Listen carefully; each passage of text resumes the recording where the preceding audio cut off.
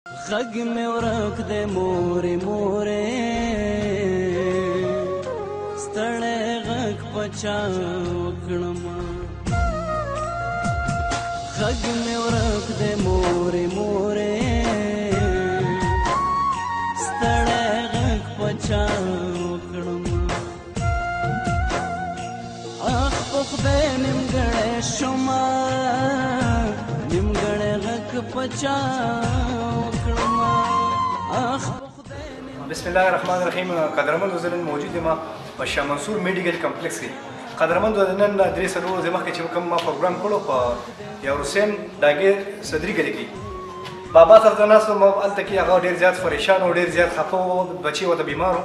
وای ما سره دومره اوس پیسې نشته زه پې د کور خرچه روانه کړم ما سره دومره پیسې اوس نشته چې زه پې د دې ماشوم اپریشن وکړم د من صرف شل روپۍ لګي قدرمند هغه پروګرام چې ما وچلو الحمدلله دې مونږ راوسو فورنو اپریشن مو سو دلته کې او نن ورځ بیا راغلی مسجد چاګه ما راغونډه کړې ده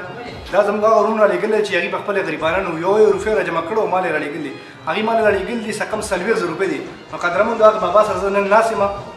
شاه منصور میډیکل کمپلیکس کې دغه پیسې باباجي ته لاس په لاس ورکوم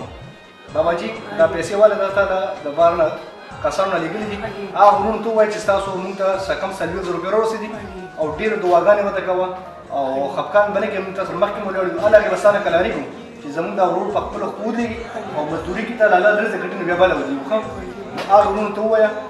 د ګرانېدو شوه ده اته ډیر دعاګانې کوي تاسو به څنګه ورسره تاسو ډیره شکریا تاسو ما سره کومک وکړو دې ته الله اجر درکړي او زما زه په خپل معذورې ما دا زه هم دغه شانو خپل پورتوا کې تړلې نه شو او الحمدلله ولې دې ورور سره منډه وواله او بس اوس پریشان شوی دی پروت دی هسپتال کې دې مالا څه کم څلوېښت زره روپۍ راکړې ستاسو د لاس چې کوم دغه شي هغه کوم امداد ما ته راورسي او الله دې دې اجر درکړي امين امين بابا جي خفقان منه کې زستا بچي ما دا ټول ستا بچي دي او چې تر کومه پورې مونږ جمع دي نو مونږ داسې غریبانانو داسې بېوس خلکو سره ودرېږو او هېڅ خفقان منه کې ښه الله به دې تپوس کې او بیا زموږ ستا بچي مونږ تاسو ولاړ وي ښه چې تر څو ستا بچي ټیک نه دی که نه نو مونږ به کلارېږو نه ښه انشاءالله ډېرې دعاګانې مونږ ته کوه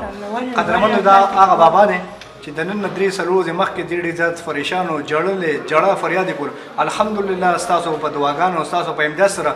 مونږ هلک راوستو اپریشن هم ول وکړو او نن مې هم ورله څه کم څلوېښت زره روپۍ وکړم دا قدرمند دا ستاسو هغه دعاګانې دا ستاسو هغه مینه دا ستاسو هغه امداد دی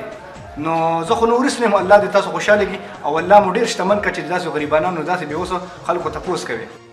ها څنګه روژه نه خې خیر دی جی څنګه اپریشن وشو ها جی اپریشن وشو ان شاء الله ډیر زر به ټیک شي مونږ تاسو ولاړ یو زستا مشه ورور ما او زما کشه ورکوټي ورور ښه خپکان منه کې او چې ترسو پورې ته الله ټیک کړی نه نو موږ به تاسو ولاړ یو ښه هیڅ غم به نه کې هیڅ خپکان به نه کې ښه او دا تعالی ما نن څه کم څلوېښت زره روپۍ راوړې که نه نو دا هم ډېر غریبانان خلکو تاسو سره امداد کړی هغه خلکو ته ډېرې دعاګانې کوه ښه